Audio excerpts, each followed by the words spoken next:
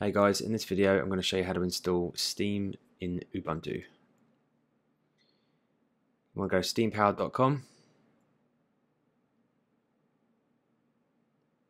click install Steam at the top,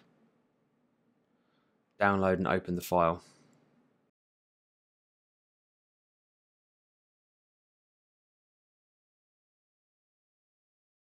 So once that's downloaded it'll open in the um, software center.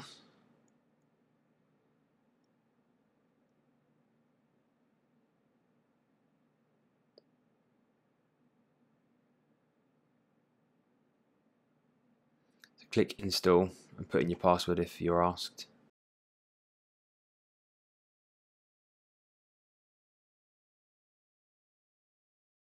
So once it's installed, close the software center and uh, close your browser.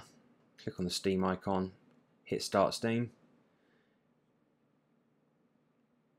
Accept the license agreement and you'll be prompted to enter your password to install some 32-bit uh, graphics libraries.